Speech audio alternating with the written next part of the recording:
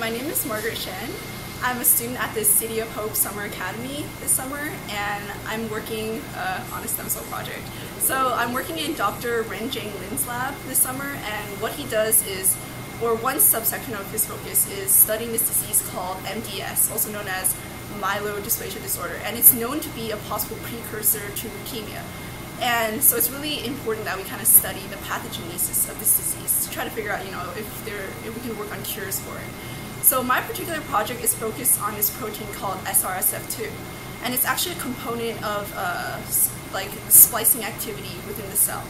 So people think that um, a possible mutation within this protein may cause alternative splicing in some genes, and this in turn may lead to uh, issues within blood cells and in the bone marrow, which leads to MDS.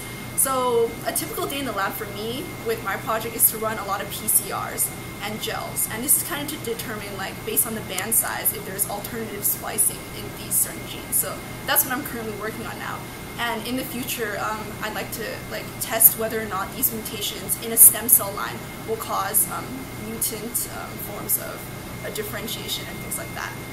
So um, this has been a really enlightening experience for me. Um, my, I have my family's support in this, and they're all really glad that I'm kind of, you know, uh, getting really involved in science and like kind of I guess using my brain and like thinking up my own ways to proceed with the experiment and stuff like that. So it's like a really new and innovative thing that no one else in my family has really done something like this before.